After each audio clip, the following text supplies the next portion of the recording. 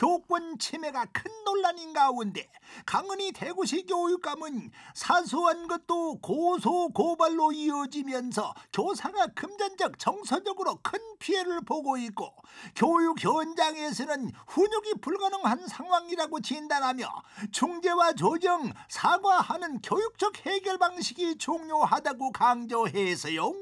강은희 대구시 교육감 어, 아동학대 신고나 교육활동 침해 같은 걸 보면 그 신고 당하는 선생님들이 제일 열심히 열정적으로 하는 선생님들입니다.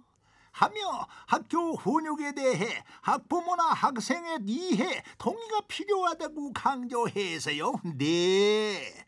공교육을 보자 하니 멀쩡한 곳을 찾기조차 힘들 정도인데 걔 어느 한두 곳 고칠 게 아니라 기초부터 깡그리 손봐야 하는 거?